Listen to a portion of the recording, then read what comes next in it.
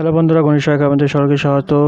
আজ অনুপাতের একটি অঙ্ক করবে। এখানে বলা হচ্ছে এবিসি এর বেতন অনুপাত হচ্ছে ওয়ান এস টু যদি সি এর মাসিক বেতন এর চেয়ে বারোশো টাকা বেশি হয়, তাহলে বি এর বার্ষিক বেতন কত? তাহলে ধরি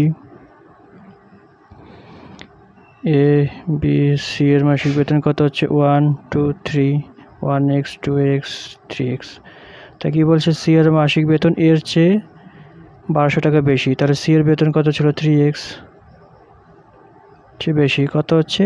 এ এর থেকে, তাহলে এর থেকে এক্স কত? বারোশো। তাহলে এদিকে টু এক্স বারোশো। তো এটা কাটলে হচ্ছে এক্সের মান হচ্ছে ছশো টাকা পড়ল।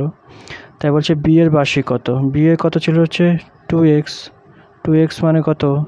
টু ইন্টু ছয়শো সমান সমান বারোশো। তা কী বলছে হচ্ছে বার্ষিক? আমরা বের করেছিলাম মাসিক, মাসে। এবার হচ্ছে বার্ষিক। বার্ষিক মানে এক বছর সমান সমান কত? বছর সমান সমান বারো মাস। তাহলে বারো ইন্টু বারো, দুটো শূন্য, বারো বারো একশো চুয়াল্লিশ বারো বারো একশো চুয়াল্লিশ তারপরে দুটো শূন্য। বিয়ের বার্ষিক রোজগার কত হবে? চোদ্দ হাজার চারশো টাকা।